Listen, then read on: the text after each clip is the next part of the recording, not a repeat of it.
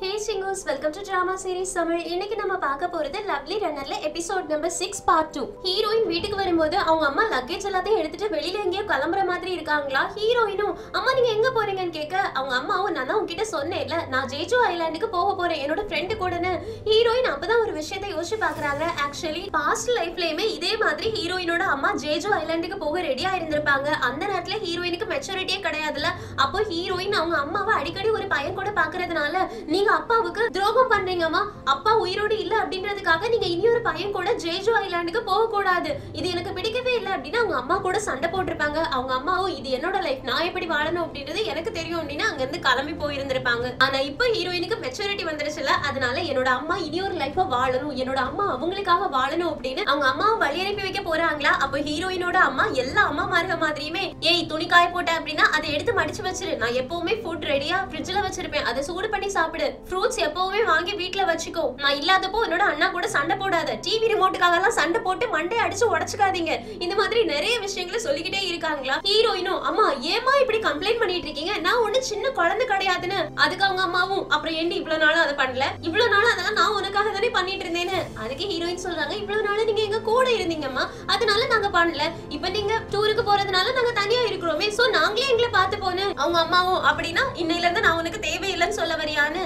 ஹீரோயினும் அப்படி கிடையாதுமா நாங்க வளர்ந்துட்டோம். அதனால எங்களை எங்களால பாத்துக்க முடியும். நீங்க ஒண்ணும் எங்களுக்கு கிடையாதுன்னு அவங்க அம்மாவும் அடி பாவி இப்பெல்லாம் பேசுறியா? ஒரு நாள் இல்லனா ஒரு நாள் நான் போனாதாண்டி உங்க எல்லாருக்கும் தெரியும். உங்க எல்லாத்தையும் போட்டுட்டு நான் போக போறேன் பாருன்னு அதுக்கு ஹீரோயினும் அம்மா அப்பெல்லாம் பேசாதீங்கம்மா. ஆனா ஒரு விஷயம் ஒருவேளை உங்களுக்கு ஜேஜோ ஐலாண்ட் போகும்போது யாராச்சும் ஒரு ஆளு பிடிச்சிருந்துச்சு அப்படின்னா அவங்க கூட லைஃபை என்ஜாய் பண்ணுங்கம்மா. புதுசா ஒரு ஹஸ்பண்ட தேடிக்கோங்க.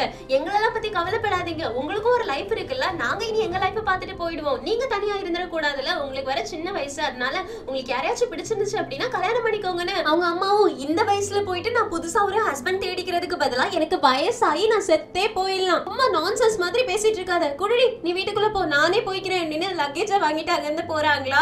ஹீரோயின் அவங்க அம்மா ஒளிஞ்சிருந்து உத்து பாக்குறாங்க. அப்ப ஹீரோயினோட அம்மா கடைசியா ஒரு நாள் யார் கூட வந்தாங்களோ அவங்க கூட தான் கிளம்பி போறாங்களா? ஹீரோயினுக்கு ரொம்ப சந்தோஷமா இருக்கு. அவங்க அம்மா அவங்களோட லவ்வ கண்டுபிடிச்சிட்டாங்க அப்படின்னு நினைக்கிறாங்க. இந்த பக்கம் ஹீரோ ஹீரோயினுக்கு ப்ராமிஸ் பண்ணி கொடுத்த மாதிரியே இங்கிலீஷும் ரொம்ப கஷ்டப்பட்டு படிக்கிறாங்க. இங்க கட் பண்ணா நம்ம ஹீரோயின் போலீஸ் ஸ்டேஷன்ல போயிட்டு எனக்கு ஒன்னாம் தேதி ஒரு ஆக்சிடென்ட் ஆக போகுது. அதனால ப்ளீஸ் என்ன காப்பாத்துங்க அப்படின்னு சொல்றாங்களா? போலீஸும் என்னமா உனக்கு பிரச்சனை? எல்லாருக்கும் அடுத்த நிமிஷம் என்ன நடக்க போகுது அப்படின்றதே தெரியாது. உனக்கு இன்னும் நடக்காத விஷயங்கள் ஃபியூச்சர்ல போய் நீ பாத்துட்டு வந்த மாதிரியே உனக்கு ஆக்சிடென்ட் ஆக போகுது. நாங்க உன்னை காப்பாத்துறோம் அப்படின்னு சொல்லிட்டு இருக்க. உனக்கு படிக்கிறதுக்கான டைம் ஆயுது அதனால போயிட்டு எக்ஸாமுக்கு ப்ரிப்பேர் பண்ணு. இந்தா இந்த சாக்லேட்டை வச்சுட்டு போ அப்படின்னு அனுப்பி விட்டுடுறாங்க. பாவம் ஹீரோயின் யார்கிட்டயாச்சும் சொல்லி தனக்கு ஆக்சிடென்ட் நடக்க போறதை ஸ்டாப் பண்ணலாமா அப்படின்னு ட்ரை பண்றாங்க. ஆனா அவங்கள யாருமே நம்ப மாட்டேங்கிறாங்க. இப்போ அங்க கிம்மோட அப்பா வராங்க. என்னாச்சு அப்படின்னு போலீஸ் கிட்ட கேட்க தெரியல அந்த பொண்ணு சும்மா விளையாடுறதுக்காக வந்து பிராங்க் பண்ணிட்டு போறான்னு நினைக்கிறேன் அப்படின்னு சொல்லி விட்டுடுறாங்க. கிம்மோட அப்பா பெருசா கண்டுக்கல. எல்லாருக்கும் ஒரு டவுட் வரும். எதுக்காக கிம்மோட அப்பா போலீஸ் ஸ்டேஷன்ல இருக்காங்கன்னு. ஒரு தடவை கிம் சண்டைக்கு போகும்போது போலீஸ் ஸ்டேஷன்ல இருக்கும்போது அங்க கிம்மோட அப்பா வந்தாங்கல்ல அப்பவே உங்களுக்கு தெரிஞ்சிருக்கணும். கிம்மோட அப்பா ஒரு போலீஸ்காரர் அப்படின்னு. அதனாலதான் கிம்மோட அப்பா போலீஸ் ஸ்டேஷன்ல இருக்காங்க. இங்க கட் பண்ணா வீட்டுல பாட்டி உட்காந்து டிவி பார்த்துட்டு இருப்பாங்களா? அவங்களுக்கு போன் வருது. வீட்டுல இருக்கக்கூடிய லேண்ட்லைன் நம்பருக்கு தான் போன் வருது. அட்டன் பண்ணிட்டு யார் யாருன்னு கேக்குறாங்க. யாருமே பதில் சொல்ல மாட்டேங்கிறாங்க. சோ பாட்டி காலை கட் பண்ணலாம் ட்ரை பண்ணும்போது ஹீரோயினோட போன் என்கிட்ட தான் இருக்கு அப்படின்னு அந்த டாக்ஸி டிரைவர் சொல்றானா. பாட்டியும் என்னோட பேத்தியோட தொலைஞ்ச செல்போன் உங்ககிட்ட தான் கிடைச்சதான்னு கேட்க டாக்ஸி டிரைவரும் ஆமா என்கிட்ட தான் இருக்குது. நீங்க அவளை என்ன வந்து பார்த்து வாங்க சொல்லுவீங்களா? அப்படின்னு கேட்க பாட்டியும் இல்ல இல்ல. அவ ஸ்கூலுக்கு போயிருக்கா. அவளுக்கு எக்ஸாம் இருக்கு. அதனால அவளெல்லாம் வர சொல்ல முடியாது. நீங்க வேணா கொரியர் அனுப்பி விட்டுடுங்களே. நான் உங்களுக்கு அட்ரஸ் சென்ட் பண்றேன்னு. அவனுக்கு இது வசதியா போயிடும். ஏன்னா ஹீரோயினோட அட்ரஸ் அவனுக்கு தெரிஞ்சுக்கணும். சோ ஹீரோயினோட அட்ரஸ் அனுப்புங்க. நான் உங்களுக்கு பார்சல் பண்ணி அனுப்பிடுறேன் செல்போன் அப்படின்னு சொல்றான். பாட்டியும் அட்ரஸ தெரியாம சொல்லிடுறாங்க. இது ஹீரோயினுக்கு ஒரு பெரிய பிரச்சனையாக போகுது அப்படின்னு பாட்டிக்கு தெரியவே தெரியாது. இங்க கட் பண்ணா நம்ம ஹீரோயின் யாருமே நம்மள நம்ப மாட்டேங்கிறாங்களே அப்படின்னு சோகமா ஸ்டடி சென்டருக்கு வராங்களா? அங்க ஹீரோ தூங்கிட்டு இருக்கதை பார்த்தோன்னே ஹீரோயினுக்கு ரொம்ப சந்தோஷமாயிடுச்சு. இவன் எவ்வளவு கியூட்டா இருக்கான் அப்படின்னு ஹீரோவை பார்த்து ரசிச்சுட்டே இருக்காங்களா? அப்படியே ஹீரோயின் தூங்கிடுறாங்க.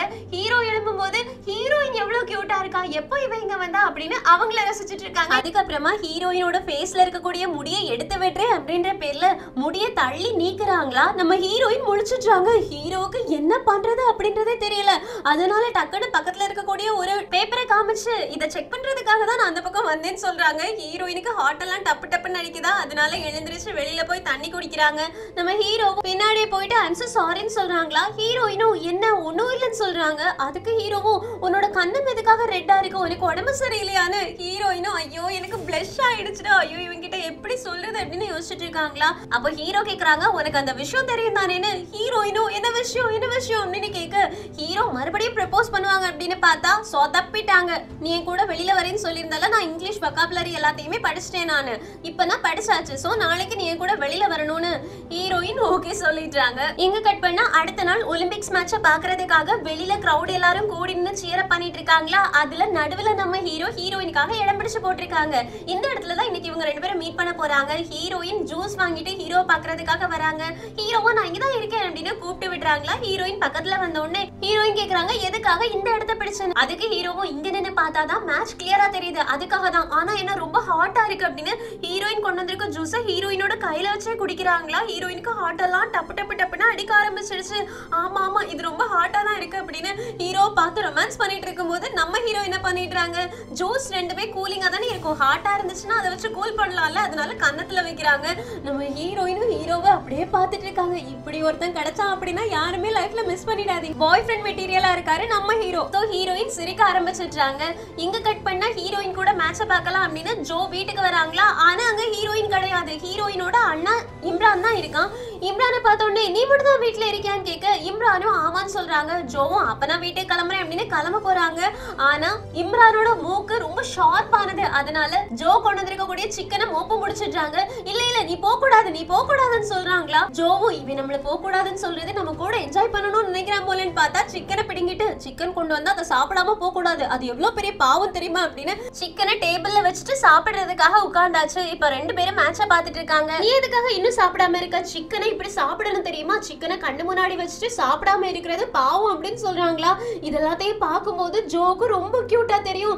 எதுக்காக இவன் எனக்கு இவ்ளோ கியூட்டா தெரியும் ஒரு சிக்கன் சாப்பிடுறவனை பார்த்து நான் மயக்கி விழுந்துட்டேனா? நிஜமாவே நான் இவனை லவ் பண்ண ஆரம்பிச்சிட்டேன்னு நினைக்கிறேன். ஐயோ போச்சே நான் இவனை நிஜமாவே லவ் பண்றேன் அப்படின்னு கன்ஃபார்மே பண்ணிடுறாங்க. அந்த நேரத்துல கரெக்டா இம்ரானுக்கு ஒரு கால் வருது. இம்ரானும் டார்லிங் நான் இப்பதான் மேட்ச பார்த்தேன். நம்ம டீம் ஜெயிச்சிருச்சுல. எனக்கு ரொம்ப ஹாப்பியா இருக்கு ஆ நீ வெயிட் பண்ணு வெயிட் பண்ணு. நான் உன்னை பாக்குறதுக்காக வந்துகிட்டே இருக்கேன்னு இதை கேட்டோடனே ஜோ உங்களுக்கு கேர்ள் ஃப்ரெண்ட் இருக்காங்களான்னு கேட்க இம்ரானும் ஆமா கேர்ள் ஃப்ரெண்ட் இருக்கா அதுல என்ன இருக்குன்னு ஜோக்கு கோவம் வந்துரும். ஏன்னா அதை முதல்ல சொல்லல இப்போ ஏன்டா சொல்ற? இந்த டைம்ல தான் உனக்கு கேர்ள் ஃப்ரெண்ட் இருக்கணுமா போடா அப்படின்னு அடிச்சு போட்டு அங்கேருந்து கிளம்பி போயிடுறாங்க. இம்ரானுக்கு ஒண்ணுமே புரியல. பாவம் ஜோ அவங்களுக்கு லவ் வந்த அந்த செகண்ட்ல இம்ரானுக்கு கேர்ள் ஃப்ரெண்ட் இருக்காங்க அப்படின்ற விஷயம் தெரிஞ்சு மனசு உடஞ்சு போயிடுறாங்க. இங்க கட் பண்ணா ஹீரோ ஹீரோயினும் கேம் பார்த்துக்கிட்டே இருக்காங்கல்ல. அவங்க தோத்து போகும்போது அப்செட் ஆகுறது ஸ்கோர் பண்ண உடனே ஜாலியா இருக்கிறது இந்த மாதிரி ஹாப்பியா இருந்துட்டு இருக்காங்க. அது எல்லாமே டிவிலயுமே டெலிகாஸ்ட் ஆகும். அதை கிம் ஹாஸ்பிட்டல்ல இருந்து பாக்குறான் ஏன்னா கிம்முக்கு லாஸ்ட் பார்ட்ல ஆக்சிடென்ட் ஆச்சுல அதனால ஹாஸ்பிட்டல்ல கொண்டு வந்து சேர்த்திருக்காங்க. கிம்மோட ஃப்ரெண்டு கேக்குறாங்க இங்க நீ அடிபட்டு வந்து உட்காந்துருக்க ஆனா உன்னோட கேர்ள் பண் இன்னொருத்தவங்க கூட ஆட்டம் போட்டுட்டு இருக்காளேன்னு கிம்மு நீங்க இருக்காதரா கிளம்பு கிளம்பு அப்படின்னு அவங்களோட ஃப்ரெண்டை துரத்தி விட்டுட்டு இருக்காங்களா அப்படி துரத்தி விடும்போது ஹீரோயினோட அம்மாவை அங்க பாத்துடுறாங்க. இவங்க ஹாஸ்பிட்டல்ல என்ன பண்றாங்க அப்படின்னு கிம்முக்கு டவுட்டா இருக்குது. அதே நேரத்துல இந்த பக்கம் மேட்ச் கொரியா வின் பண்ணிடுச்சா. சோ ஹீரோவும் ஹீரோயினும் ரொம்ப ஜாலியா கை தட்டி செலிப்ரேட் பண்ணிட்டு இருக்காங்க அப்போ ஹீரோவுக்கு ஹீரோயினை பார்க்கும்போது இந்த மூமெண்ட் தான் கரெக்டான மூமெண்ட் இதுக்கு மேல நம்ம டைம் வேஸ்ட் பண்ணவே கூடாது. நம்ம ஹீரோயின் கிட்ட லவ் ப்ரப்போஸ் பண்ணியே ஆகணும். இதுக்கு மேல நம்ம டைம் வேஸ்ட் பண்ணக்கூடாது அப்படின்னு முடிவு பண்ணி ஹீரோயின் அவங்க கிட்ட ஒரு விஷயம் சொல்லணும்னு சொல்றாங்க. ஹீரோயினுக்கு புரிஞ்சிச்சு இவன் மறுபடியும் நம்ம கிட்ட ப்ரப்போஸ் பண்ண போறான்னு. இருந்தாலும் ஹீரோ கையை பிடிச்சு இழுத்துட்டு போறாங்களா? கூடவே ஹீரோயினும் போறாங்க. ஹீரோ தனியா ஒரு இடத்துக்கு ஹீரோயினை கூட்டிட்டு போயிருக்காங்க. அந்த இடம் பார்க்கவே நல்லா இருக்குது. நீ எங்க என்ன கூட்டிட்டு போறேன்னு கேட்டா ஹீரோ சொல்றாங்க நான் உங்ககிட்ட ஒரு விஷயம் சொல்லணும். ஆனா அதுக்காக கொஞ்சம் டைம் எடுத்துக்கோன்னு. ஹீரோயினும் ஓகே சொல்லுன்னு சொல்ல ஹீரோ சொல்ல ஆரம்பிக்கிறாங்க. எனக்கு இந்த உலகத்திலே ரொம்ப பிடிக்காத விஷயம் என்னன்னு தெரியுமா? நான் ஸ்விம்மிங் பூல்ல தண்ணிக்குள்ள காலையில இருந்து சாயந்தரம் வரைக்கும் இருப்பேன். அதுக்கப்புறமா வீட்டுக்கு போலான்னு வரும்போது அப்ப மழை பெய்யும். அந்த மழை எனக்கு பிடிக்கவே பிடிக்காது. ஏன்னா நான் காலையில இருந்தே தண்ணிக்குள்ள தான் இருந்திருக்கேன். வெளியில வந்து தண்ணிக்குள்ள இருக்கணும் அப்படின்றப்போ எனக்கு இந்த மழை பிடிக்கவே பிடிக்காது. ஆனா அது எல்லாமே ஒரு நாள் மாறிடுச்சு. உன்னை நான் முத முதல்ல பார்த்தது ஒரு மழை நேரத்துல தான். நீ கொடைய பிடிச்சிட்டு என்னை பார்த்து ஓடி வந்த அன்னைக்கு என்னோட மனசு என்கிட்டே இல்ல. அன்னைக்கு தான் எனக்கு புரிஞ்சது நான் மழைய வெறுக்கவே இல்ல. மழை எனக்கு நல்ல ஒரு ஃபீலிங்ஸா கொடுத்ததே கிடையாது. உன்னை பாக்குறது வரைக்கும். ஆனா மழையில என்னைக்கு நான் உன்னை பார்த்தேனோ அன்னையில இருந்து எனக்கு மழை பிடிக்க ஆரம்பிச்சிடுச்சு. அதே மாதிரியே ஹீரோயின் உன்னையும் எனக்கு பிடிக்க ஆரம்பிச்சிடுச்சு. உனக்கு இதை எப்படி புரிய வைக்கிறது அப்படின்னு எனக்கு தெரியல. ஆனா நான் உன்னை லவ் பண்றேன். உண்மையா லவ் பண்றேன். நிஜமாவே நிறைய லவ் பண்றேன் அப்படின்னு சொல்லிட்டே இருக்காங்க. ஹீரோயினுக்கு என்ன ரெஸ்பான்ஸ் பண்றது அப்படின்றதே புரியல. ஹீரோ சொல்றாங்க நீ உடனே எல்லாம் ஆன்சர் சொல்ல வேண்டாம். நான் வெயிட் பண்றதுக்கு ரெடியா இருக்கேன்னு. ஹீரோயினும் நான் ஆன்சர் சொல்ல ரெடியா இருக்கேன் ஹீரோ அப்படின்னு வாயை திறக்கிறாங்க. அதுக்குள்ளாடி ஹீரோவுக்கு ஃபோன் வருதா?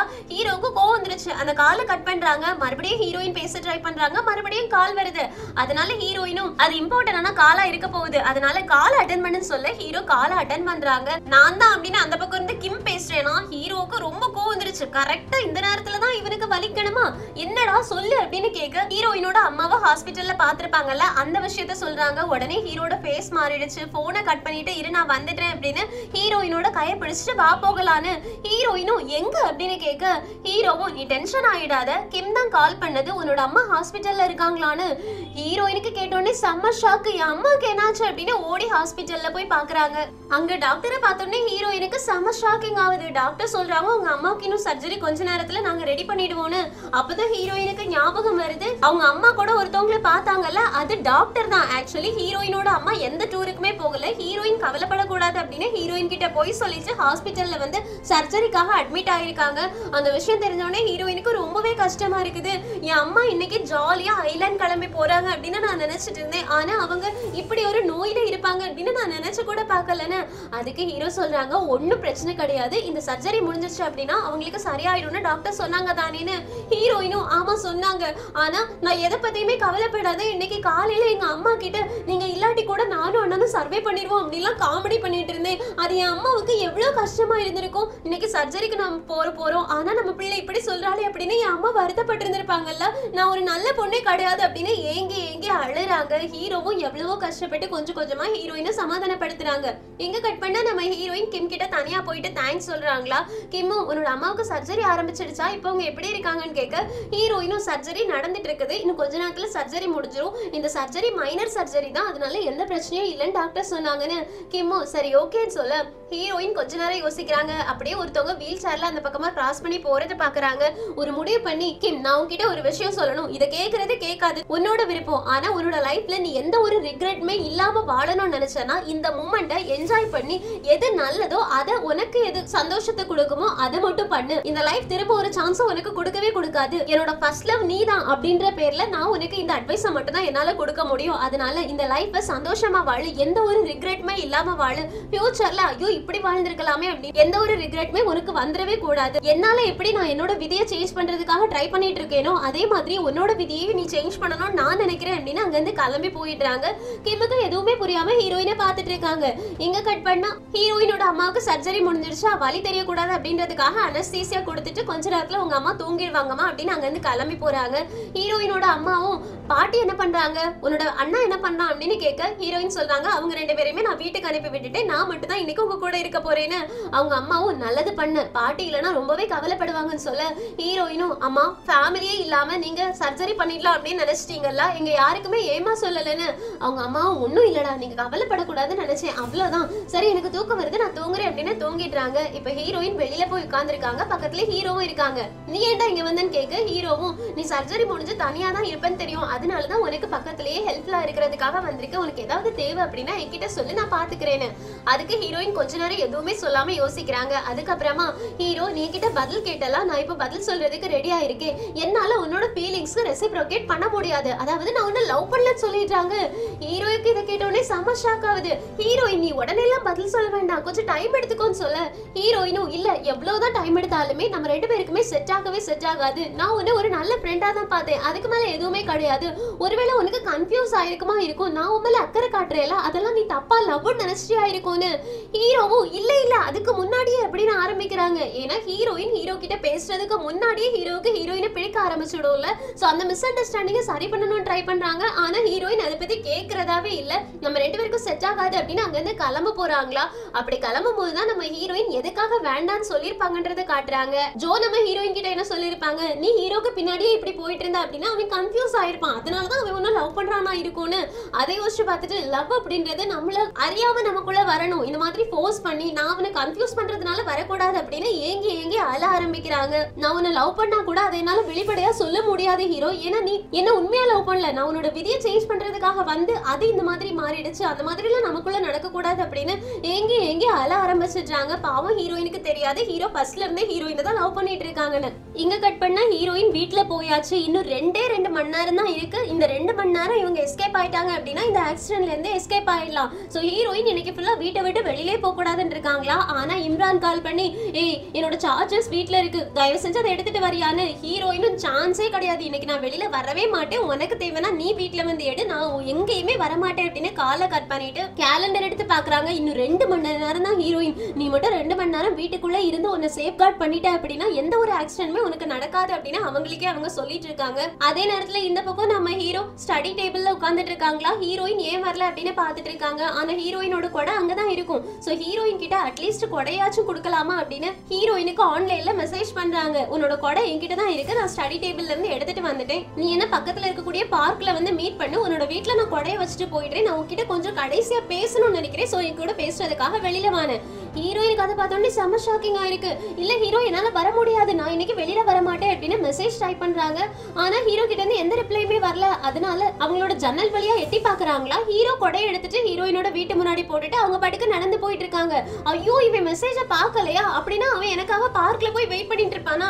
இல்ல ஹீரோயின் இன்னைக்கு நீ போவே கூடாது. இன்னைக்கு ரெண்டு மணி நேரத்துக்கு நீ வெளியிலே போக கூடாது அப்படின்னு ஹீரோயினை கண்ட்ரோல் பண்ணிக்கிட்டு ஹீரோயினுக்கு ஹீரோ கிட்ட பேசணும். ஆனாலும் போக கூடாது அப்படின்னு ஒரே முடிவா வீட்டுக்குள்ளே இருந்துட்டு இருக்காங்க. ஆனா மழை பெய்ய ஆரம்பிச்சிடுச்சு திடீர்னு. ஐயோ இவன் கொடைய வேற வீட்ல வச்சுட்டு போயிட்டான். அங்க மழையிலே எனக்காக வெயிட் பண்ணிட்டு இருக்கானா? இவனுக்கு உடம்பு சரியில்லாம வந்துடுமே. என்ன பண்றது என்ன பண்றது அப்படின்னு யோசிக்கிறாங்க. இருந்தாலும் போக கூடாது அப்படின்னு அவங்கள டிஸ்டர்ப் பண்றதுக்காக புக் எடுத்து படிக்கிறாங்க. இருந்தாலும் ஹீரோயினால முடியல. அதனால குடுகுடுன்னு வெளியே ஓடி போறாங்க. கொடை எடுத்துக்கிட்டு ஹீரோ பாக்குறதுக்காக பார்க்குக்கு ஓடுறாங்களா? அப்போ ஒரு கொரியர் பாய் ஹீரோயினை கிராஸ் பண்ணி போறான். அதை பார்த்தோன்னே ஹீரோயினுக்கு ஒரு ஞாபகம் வருது. ஹீரோ சொல்லியிருப்பாங்கல்ல ஃபர்ஸ்ட் ஃபர்ஸ்டா நீ என்ன மீட் பண்ணும்போது ஒரு கொரியர் பாய்னு தப்பா நினைச்சிட்டேன்னு. அதை யோசிச்சு பாக்குறாங்க.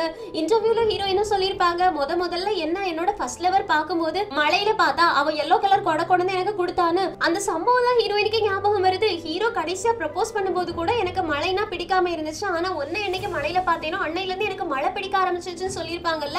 அப்படின்னா ஹீரோ என்னதான் முத இருந்தே லவ் பண்ணிட்டு இருக்கானா? நான் தான் தப்பா புரிஞ்சுக்கிட்டேனா? நான் அவனை கன்ஃபியூஸ் பண்ணல. அவன் முத இருந்தே என்னதான் லவ் பண்ணிட்டு இருந்திருக்கான்? பாஸ்ட்ல கூட அது எனக்கு தான் தெரியாம இருந்திருக்கு. அட பைத்தியமே ஹீரோ கிட்ட உடனே ஓடிப்போ அப்படின்னு கொடு கொடுன்னு ஹீரோ கிட்ட ஓடி போயிட்டு இருக்காங்க ஆனா அவங்க பாதியிலே நிக்க வேண்டியதாயிடுச்சு. ஏன்னா அவங்க முன்னாடி ஒரு டாக்ஸி வந்து நிக்குது. அந்த டாக்ஸியை பார்த்த அடுத்த செகண்டே ஹீரோயினுக்கு பாஸ்ட்ல என்ன நடந்துச்சு அப்படின்றத ஞாபகம் வருது. ஹீரோயினை இதே டாக்ஸி டிரைவர் தான் துரத்தி துரத்தி இந்த டாக்ஸியை வச்சு துரத்தி பிடிச்சிருந்திருப்பான். அதுக்கப்புறமா ஹீரோயினோட கையையும் காலையும் கட்டி போட்டு இந்த டாக்ஸிக்குள்ள ஏத்தி கொண்டு போயிருந்திருப்பான். அதுக்கப்புறமா என்ன நடந்துச்சு அப்படின்றது ஹீரோயினுக்கு ஞாபகம் இல்ல. ஆனா இந்த டாக்ஸி டிரைவர்னால தான் நம்மளோட உயிருக்கு ஆபத்து. நமக்கு ஆக்சிடென்ட் நடந்தது வெறும் ஆக்சிடென்ட் கிடையாது. யாரோ நம்மள கடத்தி கொண்டு போக ட்ரை பண்ணாங்க அப்படின்றத ஹீரோயின் புரிஞ்சுக்கிறாங்க. அதனால பயந்து நின்னுட்டு இருக்காங்களா அப்படியே இங்க கட் பண்ணா நம்ம ஹீரோ நிறைய நேரம் ஆச்சு. ஹீரோயின் இன்னும் வரவே இல்லை அப்படின்றதுனால திரும்ப வீட்டுக்கு வராங்க. அப்படி வந்துட்டு இருக்கும்போது ஹீரோயினை கடத்தி கொண்டு போனால அந்த டாக்ஸி கிராஸ் பண்ணி போகுது. ஆனா ஹீரோக்கு அந்த விஷயம் தெரியவே இல்லை. ஹீரோ ஒரு நிமிஷம் அந்த டாக்ஸியை பாக்குறாங்க. அதுக்கப்புறமா நடந்து போயிட்டு இருக்கும்போது மஞ்சள் கலர் கூட கீழே கிடக்குது. அதை பார்த்தோன்னே ஹீரோக்கு செம ஷாக்கிங் ஆயிடுச்சு. இது ஹீரோயினோட கொடையாச்சே. நம்ம இப்பதானே அவளோட வீட்டுல வச்சுட்டு வந்தோம். அது இங்க என்ன செய்யுது அப்படின்னு பார்த்துட்டு இருக்காங்க. மிக சிக்கட்டாவது இந்த எபிசோட் முடியுது நம்ம ஹீரோயின் ஆக்சிடென்ட்ல இருந்து எஸ்கேப் ஆகுவாங்களா? ஹீரோ ஹீரோயினை கண்டுபிடிப்பாங்களா? இந்த டாக்ஸி டிரைவர் எதுக்காக தான் நம்ம ஹீரோயினை இப்படி துரத்திட்டு இருக்கான் அப்படின்னு எல்லாமே ஒரு கொஸ்டின் மார்க்கா இருக்குல்ல? இது எல்லாத்துக்குமே அடுத்த எபிசோட்ல நமக்கு பதில் கிடைக்கும். ஸோ அடுத்த எபிசோட்காக வெயிட் பண்ணுங்க. இந்த எக்ஸ்பிளேஷன் உங்களுக்கு பிடிச்சிருந்துச்சுன்னா லைக் பண்ணுங்க. மறக்காம சேனலை சப்ஸ்கிரைப் பண்ணிடுங்க. தேங்க்யூ ஃப்ரெண்ட்ஸ் டேக்கே பாய்